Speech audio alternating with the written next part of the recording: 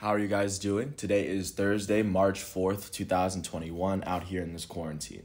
I'm James Sims, and for this episode of The Elite, I'm going to review the elite performances and matchups from yesterday, um, Wednesday, March 3rd, and of course, I'm going to preview everything that goes on today as we navigate through the world of sports one day at a time.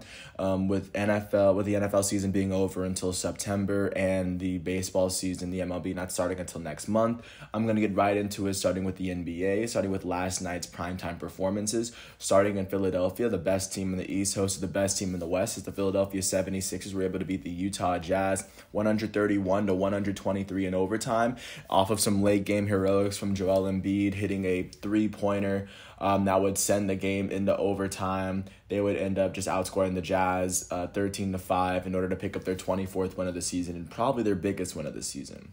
For the Utah Jazz in this matchup, their elite starting center, Rudy Gobert, would finish with 12 points, 9 rebounds, 4 assists, and 2 steals in 38 minutes as he shot 4 for 10 from the field and 4 for 6 from the free throw line. He also had 5 personal fouls on the night. And their leading scorer was their elite starting shooting guard, Donovan Mitchell, who also had 5 fouls in 42 minutes. He finished with 33 points, 8 rebounds, and 6 assists as he shot 12 for 34 from the field, 5 for 12 from 3, and 4 for 6 from the line. For the Philadelphia 76ers in this matchup, uh, their elite starting point guard Ben Simmons would finish with 17 points, 4 rebounds, 6 assists, and 5 turnovers in 42 minutes as he shot 8 for 11 from the field and 1 for 2 from the free throw line. Their starting power forward, Tobias Harris, would finish with 22 points and 10 rebounds in 38 minutes as Harris shot 9 for 18 from the field and 4 for 5 from the free throw line. And their leading scorer will be their elite starting center, Joel Embiid out of Kansas, who finished with 40 points, 19 rebounds, and three assists as well as two blocks in 40 minutes. So 40 points in 40 minutes, still mad impressive. As he shot 14 for 27 from the field, 2 for 5 from 3, and 10 for 13 from the free throw line.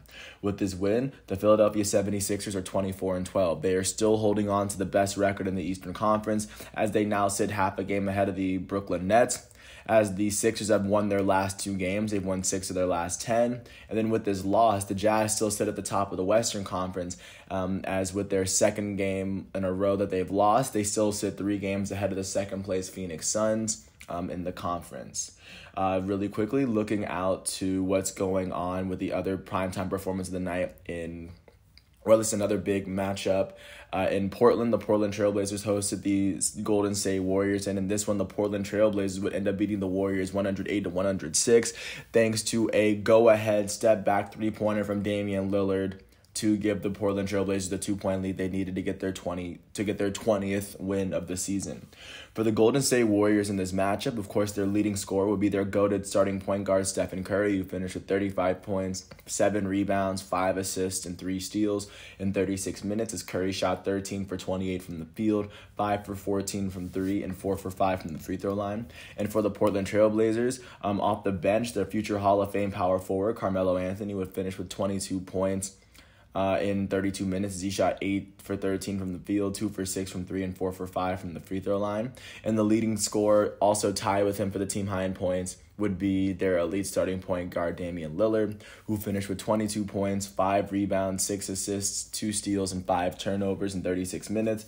As Lillard shot 6 for 17 from the field, 3 for 10 from 3, and 7 for 8 from the free throw, from the free throw line.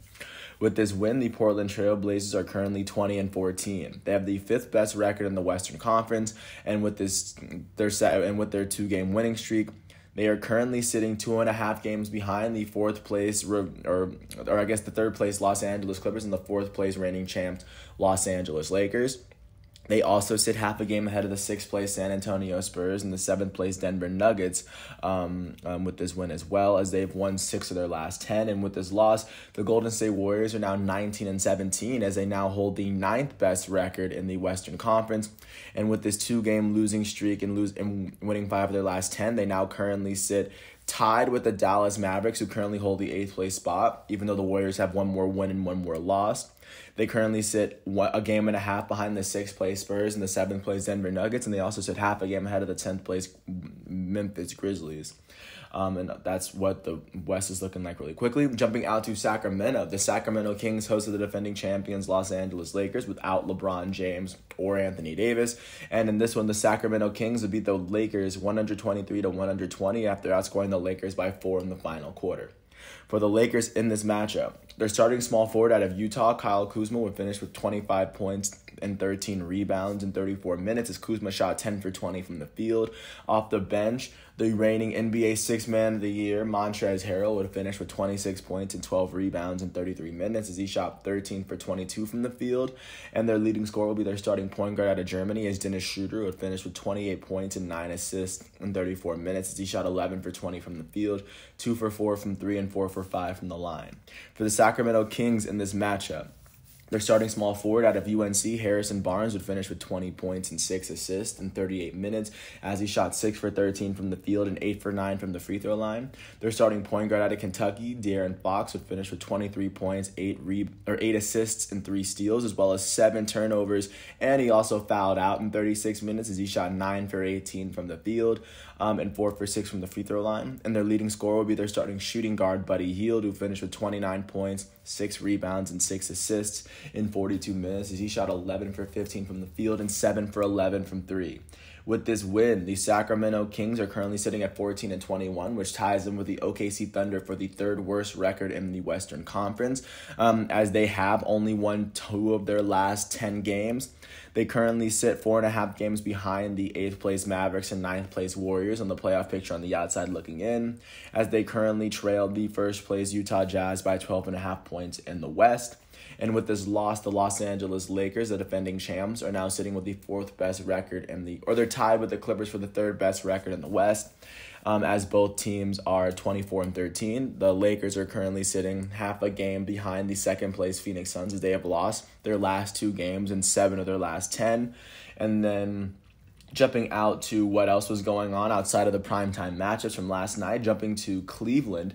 The Cleveland Cavaliers hosted their division rivals, the Indiana Pacers, and in this one, the Pacers would beat the Cavaliers 114 to 111 after outscoring the Cavs by 11 points in the fourth quarter and able to come away with their 16th win of the season.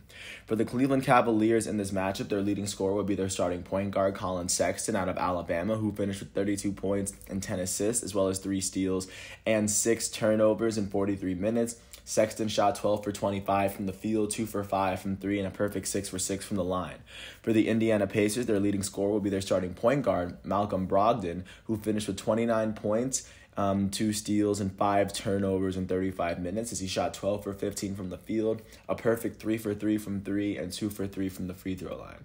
With this win, the Indiana Pacers are 16 and 8 that is the ninth best record in the Eastern Conference, tied with the Chicago Bulls, as they have won four of their last 10. Um, they currently sit half a game behind the sixth place Miami Heat, the seventh place Charlotte Hornets, and the eighth place Toronto Raptors on the um, just on the outside of the playoff picture looking in and they currently sit seven full games behind the first place Philadelphia 76ers. With this loss, the Cleveland Cavaliers are 14 and 22, as they currently hold the third worst record in the Eastern Conference, as they currently sit three and a half games out of the playoff picture, and they have lost six of their last 10.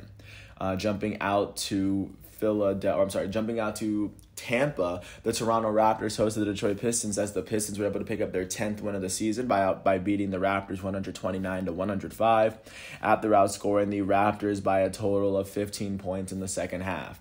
For the Raptors in this matchup, their starting, their elite starting point guard Kyle Lowry would finish with 21 points, four rebounds, and six assists in 35 minutes as he shot five for 11 from the field, three for five from three, and eight for nine from the free throw line. And their leading scorer would be their starting shooting guard Norman Powell, who finished with 36 points and five rebounds in 38 minutes as Powell shot 14 for 20 from the field, five for eight from three, and a perfect three for three from the line. And for the Detroit Pistons in this matchup. Um, their shooting guard off the bench, Rodney McGruder, would finish with 20 points, five assists, and two steals. Um, their point guard Saben Lee would off the bench would also finish with 20 points as he had seven assists in um, 21 minutes played as he shot 8 for 11 from the field and 4 for 5 from the free throw line. And the leading scorer for the Detroit Pistons would be their starting shooting guard Wayne Ellington who finished with 25 points in 26 minutes, shooting 8 for 11 from the field, all of his attempts coming from the three point line. So he, he went 8 for 11 from 3 and he made his only free throw of the night. With this win, the Detroit Pistons are now 10 and 25 as they are now the last team in the Eastern Conference to get double digit wins. The only team now remaining with single digit wins so far are the Minnesota Timberwolves. But also with this win, the Pistons have now won four of their last 10. They currently sit seven games out of the playoff picture as they are sitting 13 and a half games behind the first place 76ers. And with this loss, the Toronto Raptors are now 17 and 18, which ties them with the Hornets and the Heat for the sixth best record in the Eastern Conference. Um, as they have won five of their last 10, they currently sit half a game ahead of the ninth place Indiana Pacers and the 10th place Chicago Bulls, who are on the outside looking in. Um, jumping to uh, Orlando, the Orlando Magic hosted the Atlanta Hawks, and in this matchup, the Hawks would pick up a 115 to 112 win after outscoring the Magic by 15 points in the fourth quarter and coming back down from a six from what was made probably a 15 16 point deficit halfway through the quarter and able to pull off their 16th win of the season. For the Orlando Magic in this matchup, their starting point guard, former Rookie of the Year, Michael Carter Williams, would finish with 20 points, 6 rebounds, 6 assists, and 2 steals in 34 minutes as he shot 7 for 12 from the field, a perfect 2 for 2 from 3, and a perfect 4 for 4 from the line. Their starting shooting guard, Terrence Ross, would finish with 28 points and 5 rebounds in 41 minutes as he shot 9 for 17 from the field, 4 for 9 from 3, and a perfect 6 for 6 from the line. And the leading scorer for the Orlando Magic would be their two time All Star starting center, Nikola Vucevic, who finished with 29 points and 9 rebounds in 36 minutes as he shot 10 for 21 from the field and a perfect 7 for 7 from the free throw line. For the Atlanta Hawks in this matchup, their starting power forward, Danilo Gallinari, would finish with 23 points, 9 rebounds, 6 assists, and 2 steals in 39 minutes. As Gallo shot 8 for 18 from the field, 5 for 10 from 3, and a perfect 2 for 2 from the line. And the leading scorer for the Atlanta Hawks would be their elite starting point guard Trae Young, who finished with 32 points, 4 rebounds, 8 assists, and 2 steals in 35 minutes as he shot 9 for 19 from the field, uh, 4 for 7 from 3, and he would go on to shoot 10 for 11 from the free throw line. With this win, the Atlanta Hawks are now 16 and 20. That is the fifth worst record in the Eastern Conference. Um, as they have won their last two games, they have won five of their last 10. They currently sit a game and a half behind the sixth place Heat, seventh place Hornets, and eighth place Toronto Raptors outside of the playoff picture, as they currently trail the first place Sixers by eight total games. And with this loss, the Orlando Magic are 13 and 23, holding on to the second worst record in the Eastern Conference. This is the fifth straight game that they've lost. They've lost six of their last 10 as they currently sit four and a half games out of the playoff picture looking in. Jumping out to Houston, the Houston Rockets hosted the Brooklyn Nets as James Harden faced off against his former team. And in this game, the Brooklyn Nets would end up beating the Rockets 132 to 114 after outscoring Houston by 13 points in the first half. For the Houston Rockets in this matchup, their starting shooting guard Victor Oladipo would finish with 33 points, 7 rebounds, 5 assists, and 2 steals, as well as 2 blocks in 37 minutes. As Oladipo shot 9 for 25 from the field, 5 for 11 from 3, and 10 for 13 from the line. And the leading scorer for the Houston Rockets would be their elite starting point guard, John Wall, who finished with 36 points two rebounds and five assists in 41 minutes as Wall shot 12 for 30 from the field, 5 for 12 from 3, and 7 for 11 from the free throw line. For the Brooklyn Nets in this matchup, their elite starting point guard Kyrie Irving would finish with 24 points, 5 rebounds, and 6 assists in 34 minutes as he shot 9 for 21 from the field, 4 for 9 from 3, and 2 for 3 from the free throw line. And the leading scorer for the Brooklyn Nets would be the former Houston Rockets MVP, um, the elite shooting guard James Harden, who finished with 29 points, 10 rebounds and 14 assists, as he's already in the second place in Brooklyn Nets history for triple doubles. Um, as he also finished with three steals and eight turnovers in 41 minutes. As Harden shot 10 for 15 from the field, 4 for 8 from 3, and 5 for 7 from the free throw line. With this win, the Brooklyn Nets are 24 and 13. That is the second best record in the Eastern Conference as they now sit half a game behind the Philadelphia 76ers. They've won their last two games. They've won 9 of their last 10, and they also sit two games ahead of the third place Milwaukee Bucks um, in the playoff picture. And with this loss, the Houston Rockets are now 11 and 23. That is the second worst record in the Western Conference. Um, they currently now sit seven games behind the eighth place Mavericks and ninth place Warriors on the outside looking in as they've lost their last 13 games as a team. Um, and continuing on, jumping out to Minneapolis, the Minnesota Timberwolves hosted the Charlotte Hornets, and in this one, the Hornets would beat the Timberwolves 135 to 102 after outscoring the Timberwolves by 13 points in the third quarter and 11 points in the fourth, outscoring them by a total of 27 points in the second half. For the Timberwolves in this matchup, their leading scorer will be their starting point guard out of Spain, Ricky Rubio, who finished with 20 points and 9 assists, as well as 5 turnovers in 24 minutes, as he shot 7 for 11 from the field, 4 for 6 from 3, and a perfect 2 for 2 from the line. And additionally, for the Timberwolves, their elite starting center, Karl-Anthony Towns, would finish with 16 points 15 rebounds and 3 assists in 32 minutes as he shot 6 for 14 from the field, 1 for 5 from 3, and 3 for 4 from the free throw line. For the Charlotte Hornets in this matchup, their starting small forward, Gordon Hayward, would finish with 23 points five rebounds, nine assists, and five steals in 31 minutes. As Hayward shot 10 for 18 from the field and 3 for 4 from the free throw line. Their elite starting point guard, LaMelo Ball, would finish with 19 points, 7 rebounds, and 5 assists, as well as 2 steals. As the rookie shot 7 for 13 from the field, 4 for 5 from 3, and 1 for 2 from the free throw line in 26 minutes. And the Charlotte Hornets' leading scorer would be their starting shooting guard, Terry Rozier. Um, Scary Terry finished with 31 points and three steals in 29 minutes as he shot seven, or 12 for 21 from the field, 6 for 12 from three, and he made his only free throw attempt of the night. With this win, the Charlotte Hornets are now 17 and 18. That is tied with the Miami Heat and the Toronto Raptors for the sixth best record in the Eastern Conference, um, as they have won five of their last 10 games as a team. All three of those teams currently sit half a game behind the fifth place New York Knicks and they also sit half a game ahead of the ninth place Indiana Pacers. So, of course, this is a very big win for the Hornets. Um, and then with this loss, the Minnesota Timberwolves are 7 and 29 as they currently hold the worst record in the Western Conference. With the Pistons win, like I just said earlier, they are the only team with a single digit amount of wins this season. Uh, they are currently on a 9 game losing streak as they are sitting 12 games out of the playoff picture and 20 full games behind the first place Utah Jazz. Jumping out to New Orleans, the New Orleans Pelicans hosted the Charlotte the Chicago Bulls and in this game the Bulls would end up beating the Hornets 128 to 124 especially after outscoring the Hornets by 18 points in the second half. Um, and they were able to put themselves up by enough to where the New Orleans Pelicans' 45 point fourth quarter would not be enough to beat them.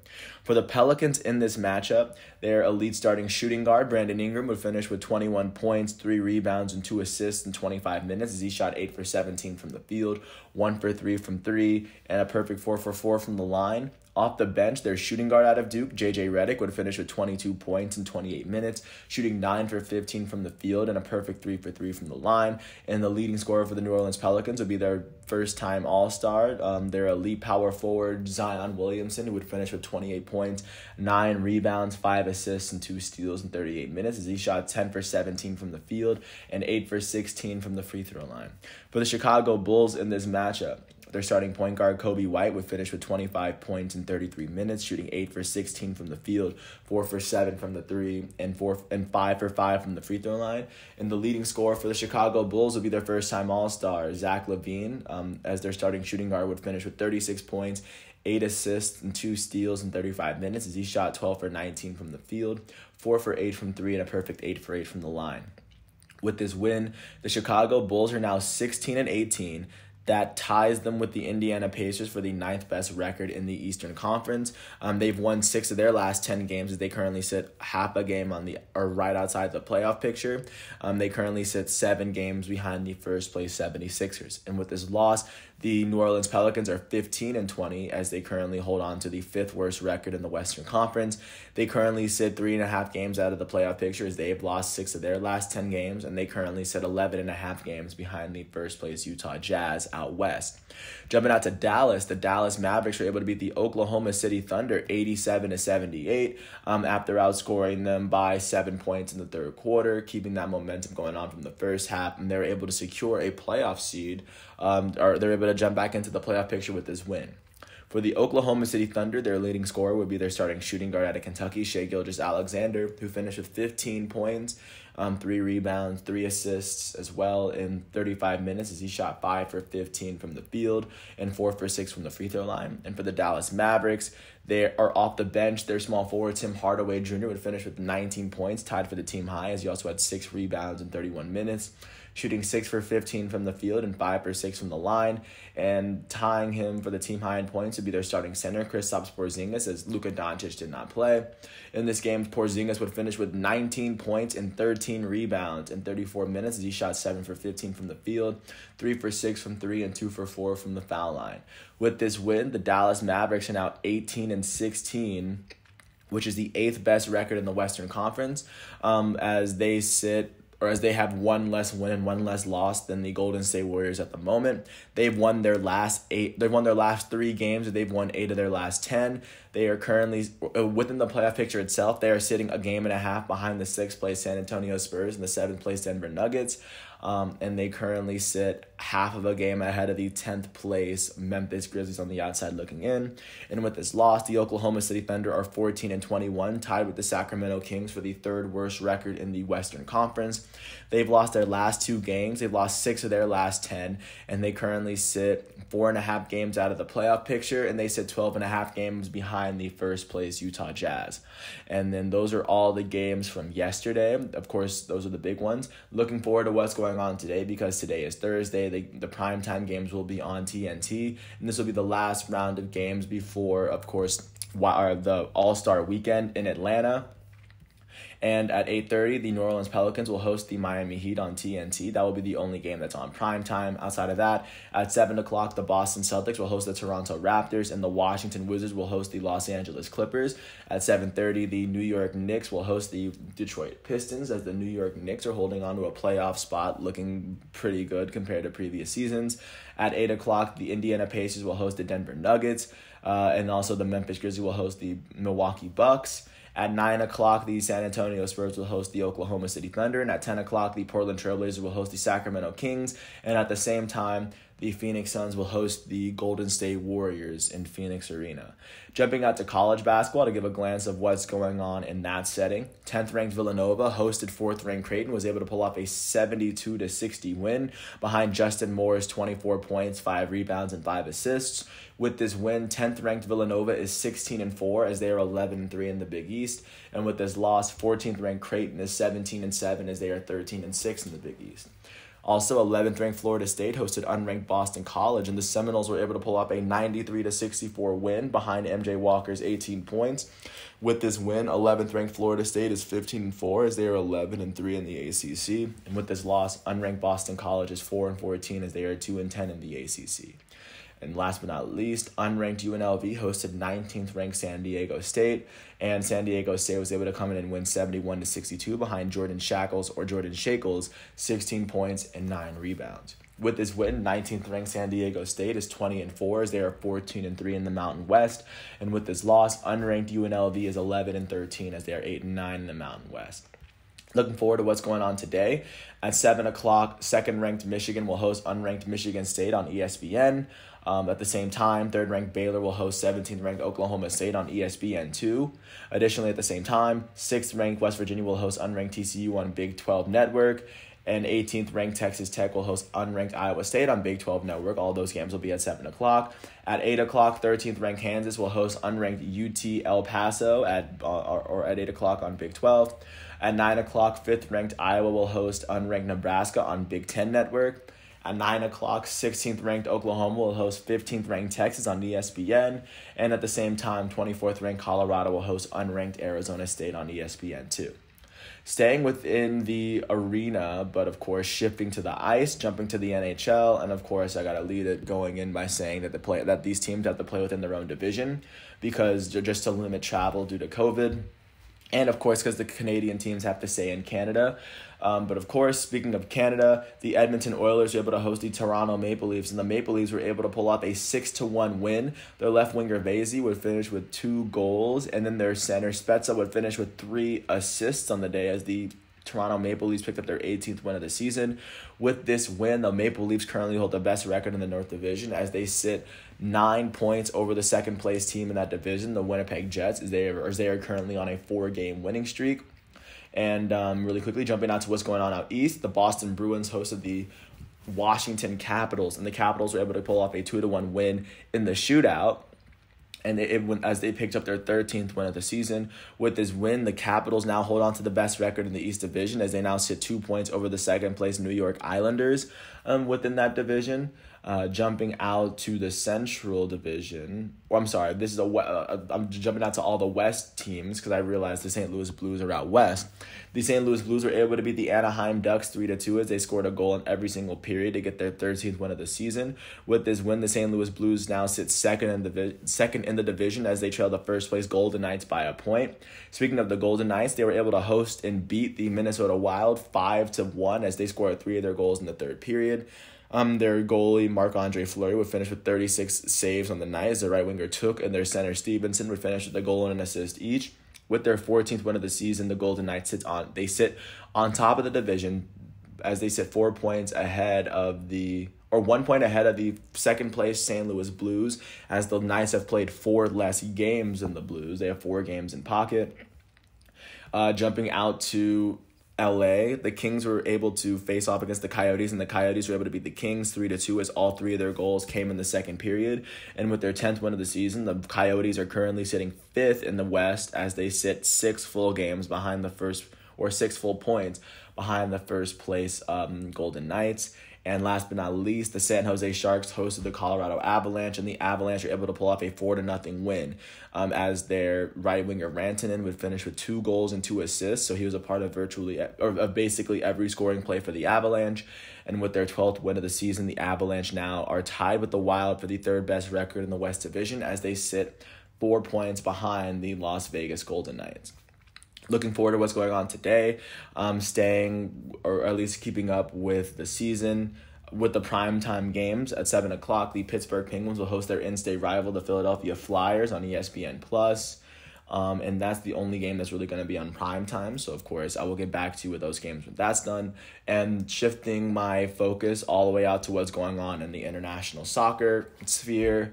Um, starting with the Premier League because there was a good amount of soccer yesterday because there's no Champions League this week uh, at Crystal Palace. They hosted Manchester United and they were able to draw with Manchester United, keeping it at 0 0. And with this draw, Manchester United still sits second in the table, but they now trail first place Manchester City by 14 points. Um, and with 11 games left, it looks as though Manchester City might run away with the title, but I mean, anything can happen in the Premier League. Uh, jumping out to the DFB Pokal, which is the German Cup, RB Leipzig was able to beat Wolfsburg 2 to nothing as they will advance to the next round. In Italian Serie A, AC Milan drew with Udinese. Um, as they were able to tie it up in the 97th minute off of a penalty kick in order to in order to get the one point in the table in order to save themselves. They now currently sit three points behind first place Inter Milan with one game played, and they now sit four points ahead of Juventus with one more game played, giving Juventus the opportunity to move in closer uh, to that second place spot.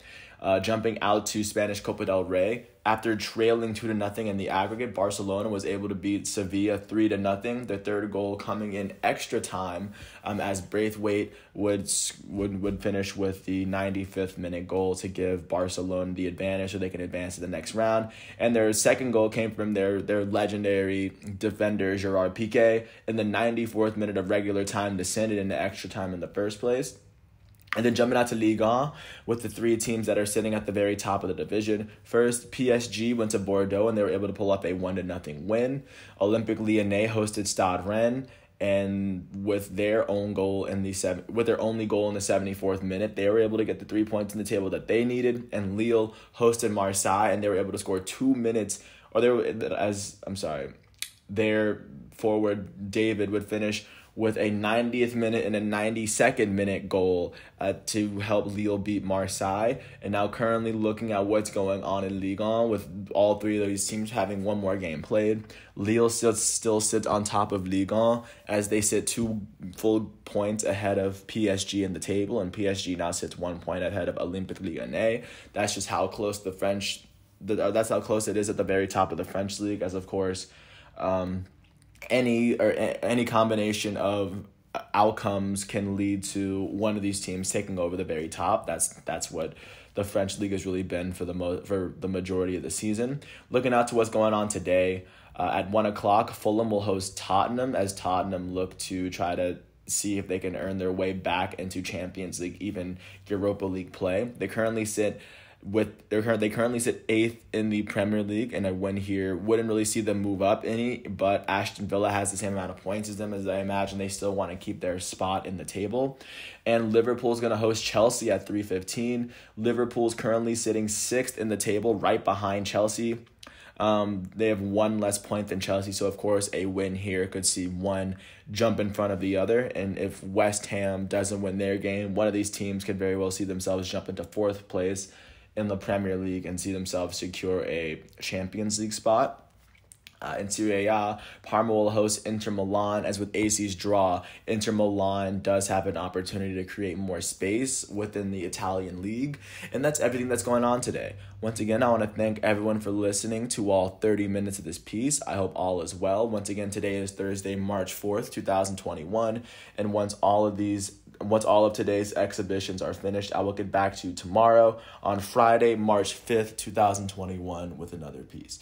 Once again, thank you for listening to all 30 minutes of my piece. I hope all is well and peace out. I'll catch you tomorrow.